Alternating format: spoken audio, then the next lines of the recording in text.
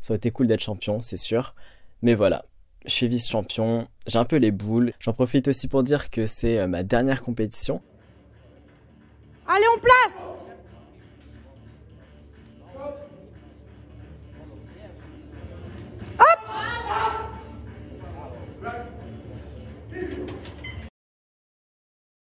Bah voilà, je termine vice-champion du monde universitaire. Voilà, je voulais vous faire un récap de cette compétition comme je vous en ai parlé dernièrement. Et euh, c'est une compétition qui était un petit peu en demi-teinte pour moi. Euh, je suis un petit peu déçu, je vous cache pas, malgré euh, bah, ce titre cool de vice-champion. Mais voilà, c'est une compétition assez compliquée et bah, je vais vous expliquer tout ça. Bah, déjà, comme vous l'avez vu dans le titre, je suis pas passé loin de la victoire en fait. Je suis vraiment pas passé loin. Et c'est pour ça d'ailleurs que je suis un petit peu déçu malgré tout. Mais voilà, je vais vous expliquer tout ça. Je vais vous donner un petit peu mon avis dessus et les conséquences que ça aura pour la suite. Alors voilà, sans tourner autour du pot, j'ai terminé avec un total à 465 kg, qui n'est pas un record pour moi, pas un record au total. J'ai déjà fait mieux précédemment. Je n'ai fait aucun record sur, euh, bah, sur les trois mouvements, pas de record au squat, pas de record au développé couché, pas de record au soulevé de terre. Et euh, finalement, je perds, donc je perds au poids de corps en fait, c'est-à-dire que euh, la personne qui a gagné le premier a fait le même total que moi, sauf qu'il est pesé plus léger. Et donc, bah, il m'a battu. En fait, euh, si on fait le même total, c'est le plus léger qui gagne et c'est lui qui a gagné. Donc ça s'est joué vraiment au poids de corps en fait et euh, voilà un petit peu dégoûté mais bon voilà ça reste quand même une place de vice champion je me dis que bah, c'est cool aussi c'est juste que le fait de pas être passé loin de la victoire ça fait ça fout un petit peu les boules. En voilà, je suis passé le 31 octobre, donc euh, lundi, je suis passé à 13h avec une pesée à 11h, donc dans la catégorie des moins de 59 kg. J'ai dû faire un petit régime, j'ai pas eu beaucoup à perdre, j'avais eu que 2,5 kg à perdre, on va dire. Mais en fait, euh, je sais pas pourquoi, je m'y suis très mal pris. En fait, euh, c'est-à-dire que j'ai fait un régime trop drastique trop tôt.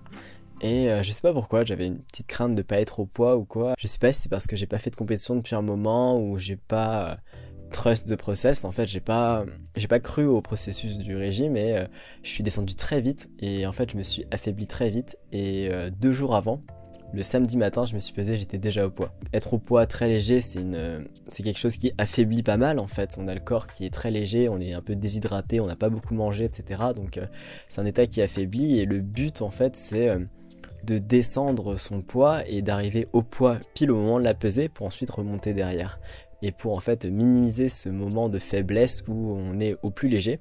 Et en fait moi je l'étais déjà deux jours avant, donc en fait pendant deux jours j'ai dû rester à peu près à ce poids-là pour ne pas risquer de remonter, redescendre, parce que bah, si je remonte et que j'arrive pas à redescendre, bah, je rate la pesée.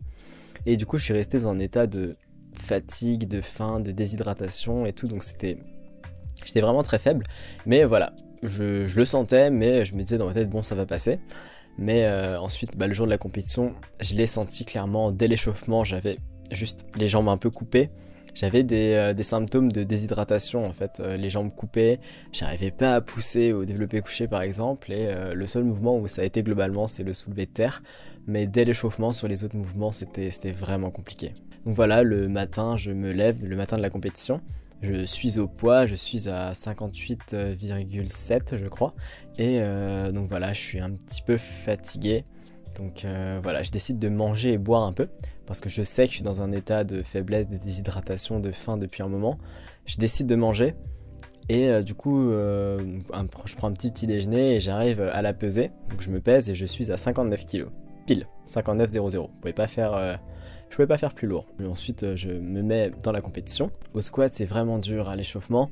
Euh, je sens que j'ai pas beaucoup de jambes. Je sens que j'ai de l'influx, que j'ai de la force, mais je sens que mes jambes répondent pas beaucoup. J'ai un peu les jambes coupées. Donc euh, je les sens pas beaucoup, j'ai un peu comme de l'acide lactique dans les jambes qui m'empêche de pousser, je le sens. Donc j'essaie de pas faire trop de répétitions pendant l'échauffement dans mes séries afin de pas avoir cette sensation de congestion d'acide lactique en fait. Mais voilà, je sens que je suis pas très bien, et bah ça rate pas. Euh, je passe que deux barres en fait. Voilà, j'ai fait 167, 172 alors que j'avais prévu de faire 167, 175 et ensuite on verrait pour une troisième barre. Mais là, 72, j'étais déjà à bout, c'était vraiment compliqué. Et euh, troisième barre, j'ai mis 175, mais j'avais plus de force dans les jambes, juste ça répondait plus et euh, je l'ai juste pas du tout passé. Mais donc voilà, les symptômes de la déshydratation, je les ai vraiment bien bien sentis. Au développé couché aussi, donc sur le deuxième mouvement, Je fais 97 en première barre, super dur, et pour la première fois, je rate mon premier essai au développé couché. En fait, je l'ai poussé et je l'ai senti très bizarre. Et en fait, il y a eu un peu une redescente avant que je la finisse, sachant que dans les mouvements, on n'a pas le droit à une redescente de barre, c'est-à-dire que si on pousse, il faut pousser de façon continue, ou on peut s'arrêter et continuer, mais on peut pas descendre et remonter, quel que soit le mouvement d'ailleurs. Donc voilà, je me penche un essai raté. Je remets 97.5, je la pousse, c'est super dur aussi, je me dis mais 97 c'est pas possible. Et ensuite bah je demande 100 kg, je la fais super dur aussi, mais, euh, mais bon voilà. Donc ça fait 172 validés au squat et 100. Euh, je prends pas mal d'avance euh, au squat, malgré ce mauvais squat en fait, je prends quand même de l'avance sur tout le monde. Et même à la fin du squat et du développé couché, je suis premier, donc voilà, je mène un peu le total, en fait je mène au total, je mène la compétition. Arrivé au soulevé de terre, le soulevé de terre je sais que c'est un mouvement où je le fais euh, très à l'influx, euh, voilà c'est pas quelque chose avec beaucoup de tension musculaire et tout, donc voilà ça passe euh, plutôt bien dans un état de fatigue j'ai envie de dire, en général hein, ce mouvement. Donc première barre je demande 180. Donc voilà, on passe 180. Et deuxième barre, je demande 192,5. D'ailleurs, je demande, c'est en fait, je demande au coach de l'équipe de France de me mettre ces barres-là, de faire l'échauffement en fonction. Coach qui ont d'ailleurs euh, super bien géré. Donc, parmi les coachs, il y avait Margot, qui était euh, la head coach de l'équipe de France universitaire, et Allison et Greg, qui sont euh, les coachs NBNS, donc du système de coaching qui me coach. Greg étant mon coach, vraiment coach-coach. Mais voilà, les deux ont fait le déplacement. Les deux m'ont super bien coaché, ils sont super bien occupés de moi, il n'y avait pas de soucis, c'était parfait. D'ailleurs, je suis un petit peu dégoûté de pas trop leur avoir fait euh, honneur euh, aux trois en ayant sorti des performances euh, voilà, vraiment mitigées. Mais voilà, en tout cas, c'était impeccable de leur part. Et bon, voilà, si vous regardez, merci à vous encore. Bref, donc je disais, j'ai mis 180 soulevé de terre, 192 ensuite. Et du coup, voilà, c'est un peu le moment des matchs, le soulevé de terre. Donc, c'est le dernier mouvement. Et les gens vont essayer de mettre la barre qui les arrange pour aller décrocher une place de, euh, bah, place de premier, deuxième, troisième. Ça se joue vraiment au kilo près et au poids de corps. Et en l'occurrence, celui qui, euh, qui m'a battu, il a fait une troisième barre au soulevé de terre qui lui a permis de gagner. En fait, euh, tout simplement, on passe dans l'ordre de la barre la plus légère à la plus lourde. Donc moi, je demande 180, 192, ensuite 197.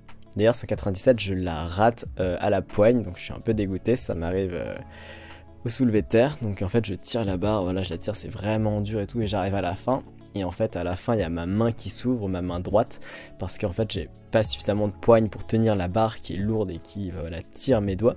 Et du coup, bah, je la lâche comme ça. Mais bon, je la lâche et je suis toujours premier, donc avec 172 euh, au squat, 100 au développé couché et 192, ça me fait 465. Sauf que bah, mon concurrent, il est plus léger que moi, et il suffit qu'il fasse 465 pour euh, égaliser mon total, et comme bah, il est plus léger, il gagne. Et donc du coup, en dernière barre, il demande quelque chose comme 205 euh, ou 210, je sais plus. Et en fait, il égalise mon total de 465. Et bah du coup, je perds en fait. Je passe de premier à deuxième. C'est assez compliqué ces moments euh, où on est un peu spectateur parce que bah, je passe ma dernière barre au soulevé de terre, donc je sais que bah voilà, euh, je suis toujours premier et qu'il reste lui qui passe, et je le regarde passer. Et bah moi ce que j'espère c'est qu'il la rate, puis donc je le regarde et je vois qu'il l'a réussi, donc euh, voilà, je sais qu'après que, j'ai pas gagné. donc voilà, c'est une situation assez particulière, voilà, donc j'ai regardé, j'ai vu, j'ai fait ah bon, je suis passé de premier à deuxième voilà, fin de compétition, etc. Donc euh, voilà, un petit peu dégoûté. C'est marrant parce que euh, je suis un peu dégoûté d'être vice-champion alors que j'imaginais pas être vice-champion. C'est-à-dire que je suis venu à la compétition, j'avais pas d'attente particulière, je me suis dit je vais faire la meilleure place possible et on verra. Sauf que euh, durant la compétition, après le squat, le développé couché, j'ai vu que j'étais potentiellement premier et que je pouvais faire titre de champion. Et c'est vraiment à la toute fin, bah, passer de premier à deuxième qui fait un petit peu mal. Et euh, c'est du coup c'est pour ça que je suis super dégoûté d'avoir fini deuxième. Sachant que j'ai fait une super mauvaise compétition à cause d'un très mauvais régime, qui est ma faute hein, entièrement. Mais euh, du coup je me dis, putain, si j'avais mieux géré mon régime, j'aurais peut-être validé quelques kilos en plus au squat, au développé couché. Parce que franchement j'étais parti pour faire vraiment mieux au squat et au développé couché, donc je suis vraiment dégoûté. Mais, euh, mais voilà, et du coup, bah, euh, je passe de premier à deuxième, ça fait un peu ascenseur émotionnel, boum, je peux faire premier, et puis non, je fais deuxième. Je fais des records sur aucun mouvement, je fais pas de record au total, donc c'est un petit peu euh, bah, compliqué, le moral est un peu compliqué. Heureusement, les coachs, ils ont su quand même trouver les bons mots pour, pour me rassurer, me dire que c'était quand même bien. Et c'est vrai que c'est quand même bien finalement. Mais, mais voilà, il y a quand même un petit truc qui reste.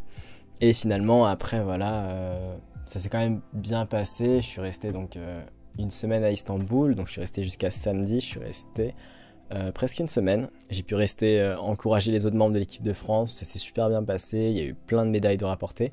Pour la France, euh, voilà, on a sympathisé avec les autres nations, on a visité la ville d'Istanbul aussi, on s'est juste même détendu dans l'hôtel. D'ailleurs, oui, la compétition se passait dans l'hôtel même où on logeait, donc super bien, super pratique. Compétition un peu particulière, et voilà, je voulais juste vous dire ce qui s'était passé exactement. Il n'y a pas eu de live pendant la compétition, donc il n'y a pas de vidéo. Euh, un peu dégoûté, un peu bizarre aussi qu'il n'en ait pas mis, alors qu'aux aux précédentes éditions universitaires, euh, il y avait eu des lives, donc euh, voilà, je comprends pas, mais en tout cas, j'ai pas de vidéo. Mais donc voilà, après ça, après cette compétition, que dire Il faut repartir sur une nouvelle dynamique, il va falloir se réentraîner, et se réentraîner encore plus dur, parce que voilà, il y a des objectifs des barres, des places à aller chercher. Et cette petite défaite que j'ai eue là à la Coupe du Monde universitaire, c'est vraiment quelque chose qui, qui me, qui me prend et qui me drive pour la suite. Là, je suis plus motivé que jamais pour, euh, performer. Donc euh, voilà, c'est pas plus mal pour ça. Ça aurait été cool d'être champion, c'est sûr. Mais voilà, je suis vice-champion, j'ai un peu les boules et ça va être le moment de tout donner à l'entraînement et de prendre ma revanche. Avec mon coach Greg, on est déjà en train de bosser dessus. Là, au moment où je vous parle, donc il s'est passé une semaine, on a déjà calé plein d'entraînements, on a une vision pour la suite. Et euh, voilà, maintenant il faut juste tout donner, persévérer, et puis euh, bah, ça paiera, et euh, j'aurai ma revanche. J'en profite aussi pour dire que c'est euh, ma dernière compétition, ma dernière compétition bah, de ma vie en fait. Et non, je rigole. Non, en fait, c'est la dernière compétition universitaire. Déjà, je ne suis plus en études et j'ai atteint l'âge limite pour faire les compétitions universitaires. Donc, c'était ma dernière compétition universitaire. Et c'est aussi ma dernière compétition dans la catégorie des moins de 59 kg. Parce que là, je vais monter de catégorie.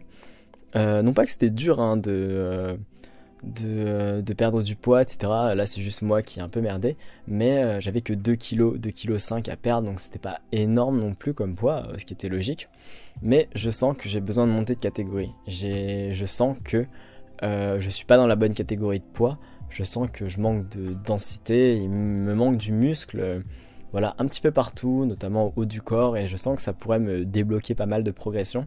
Et voilà, parce que tout le renfort, toute l'assistance que je fais avec l'alimentation que j'ai pour rester dans la catégorie moins de 59 kg, je pense qu'il y a pas mal de muscles perdus, entre guillemets, d'entraînement pas vraiment euh, rentabilisé, euh, etc.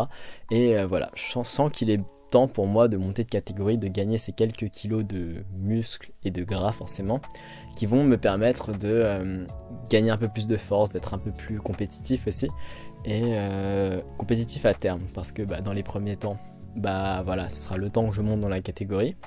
Donc peut-être pas que je serai compétitif, j'aurai pas le meilleur euh, ratio poids-force, poids de corps et force euh, développée. Mais euh, à terme, en tout cas, il n'y a pas de raison que ça se fasse pas. Juste, voilà, il faut du temps. Quoique, on sait jamais, hein, ça se trouve, je vais exploser tout de suite. Hein. mais on verra. En tout cas, voilà, il va être temps de manger. manger plus, manger plus de musculation, manger vraiment beaucoup de musculation pour euh, me densifier vraiment et euh, voilà, être dans une bonne catégorie des moins de 66 kg. Sachant que euh, voilà, j'ai de la marge, je peux être en dessous des 66 kg et à terme il faudra être un peu au-dessus de 66 kg pour faire un régime et descendre de catégorie comme font tous les athlètes compétitifs pour la grande majorité. Mais voilà, du coup, nouvelle dynamique avec des entraînements pas mal musculation et force athlétique. Donc voilà, on combine toujours les deux et euh, voilà avec une grosse emphase sur la musculation, une, vision d'entraînement différente pour euh, faire pas mal de muscles. Mais euh, voilà, je vous tiendrai au courant de tout ça, de comment ça se passe. En tout cas, merci pour d'avoir visionné cette vidéo, merci pour tous vos encouragements, ceux qui étaient là pour m'envoyer des messages avant, pendant, après, qui m'ont soutenu, qui ont demandé des nouvelles, qui m'ont un petit peu aussi rassuré bah, après cette compétition. Donc voilà, vous vous reconnaîtrez, vraiment merci beaucoup à vous. Merci aussi à tout le staff de l'équipe de France les coachs, euh, toutes les personnes qui ont organisé euh, du coup cette compétition, qui ont permis à une délégation française d'y aller. Donc euh, ceux qui étaient là à Istanbul même, mais aussi ceux qui n'y étaient pas, mais qui ont quand même participé à l'organisation. Merci aussi à toute l'équipe de France, c'était vraiment cool d'être avec vous. C'était, je crois qu'il y avait une belle cohésion et c'était vraiment cool. Donc voilà, hâte de repartir sur de nouvelles choses. Et de vous partager tout ça comme d'habitude. Voilà, si la vidéo vous a plu, laissez un like, ça soutient, euh, laissez un commentaire, c'est, ça fait partie du référencement, dites-moi ce que vous voulez, euh, n'importe, je lis tout. Euh, abonnez-vous si ce n'est pas déjà fait. Pour toute demande de coaching aussi, n'hésitez pas à me contacter pour de la force athlétique, développement de la force, mais aussi de, des buts esthétiques, musculation, renforcement, remise en forme, et, et quoi d'autre? Le sponsor, Nutrimuscle. Donc avec, vous aurez moins 10% avec le code NM-SART10. Donc euh, voilà pour les meilleurs compléments alimentaires. D'ailleurs, Nutrimuscle m'a pas mal aidé, m'a envoyé plein de trucs avant la Coupe du Monde universitaire, donc euh, c'est très cool. Merci à eux aussi. Donc voilà, à la prochaine. Salut